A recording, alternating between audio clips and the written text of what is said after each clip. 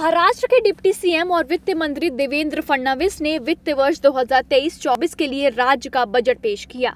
ये एक नाथ शिंदे सरकार का पहला बजट है।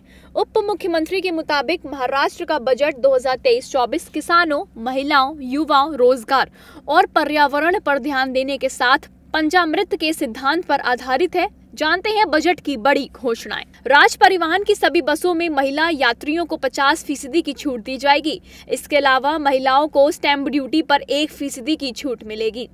प्रधानमंत्री कृषि सम्मान निधि योजना के तहत किसानों को हर साल बारह हज़ार मानदेय दिया जाएगा, जिसमें छह हज़ार केंद्र और छह हज़ार राज्य सरकार देगी।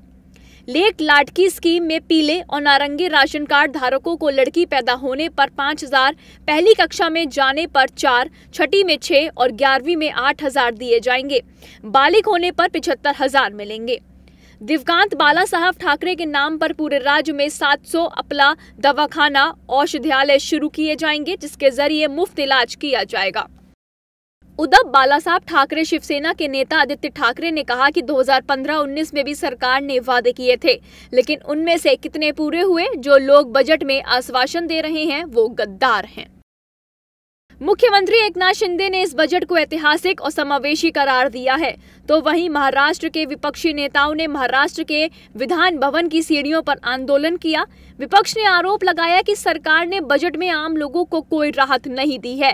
विपक्ष का कहना है कि सिर्फ़ बड़ी बड़ी घोषणाएँ सत्ता पक्ष द्वारा बजट में की गई हैं। महाराष्ट्र विधानसभा के बाहर एनसीपी विधायकों ने कद्दू लेकर महाराष्ट्र सरकार के खिलाफ विरोध प्रदर्शन किया है।